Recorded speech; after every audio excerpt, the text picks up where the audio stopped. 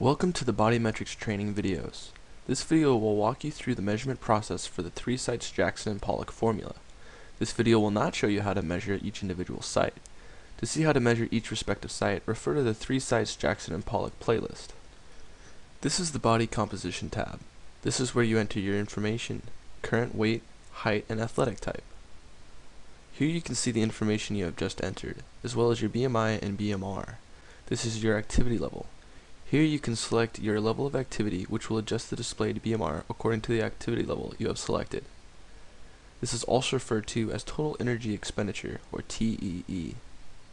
Based on your selection, your BMR will increase with the appropriate level of activity. For a more detailed video on the BodyView software, you can refer to our PC or Mac training videos. This is where you select the formula you are going to use for your body fat measurement. For this video, we will select the three sites formula by Jackson and Pollock.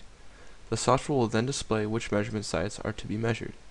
For the three sites Jackson and Pollock formula, you will be required to measure your thigh, your chest,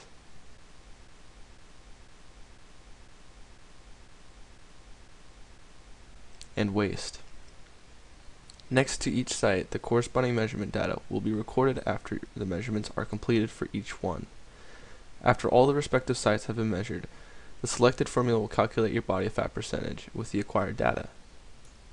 Your body fat percentage will be displayed here. Above this is a scale that will show you where you lie on a graph extending from elite to obese. You have successfully measured your body fat percentage with the three sites Jackson and Pollock formula. Thank you for watching this training video. If you have questions or comments, be sure to leave them below.